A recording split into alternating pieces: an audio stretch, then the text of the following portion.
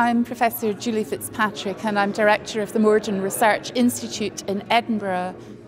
Beef farmers around the world need to produce beef in a sustainable way.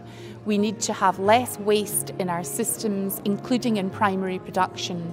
That means reducing disease, maximising health and welfare, and making sure we produce high quality, safe produce for our consumers morning, everyone. My name is Amanda Brown. I work for Kantar World Panel.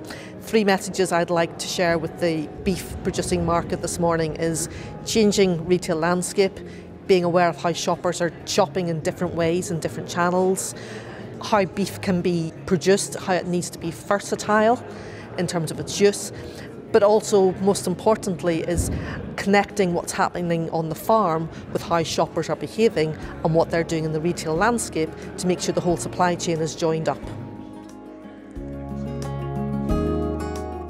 Johan de Meulemeester, veterinarian, business development manager at Allflex. We at Allflex have developed tissue sample tags for farmers to take a tissue sample from their animal at the time they're identifying it so they can actually prove traceability to the consumer. Traceability is trust, and that's what the consumer is looking for.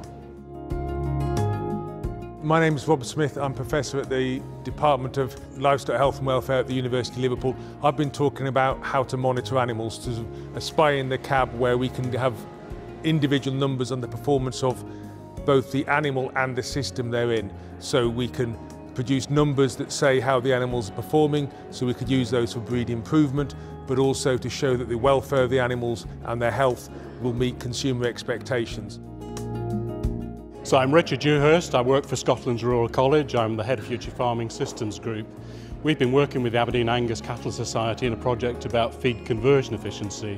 Feed is one of the biggest costs in beef production and if we can convert that feed into meat, into beef more efficiently, that will be hugely beneficial.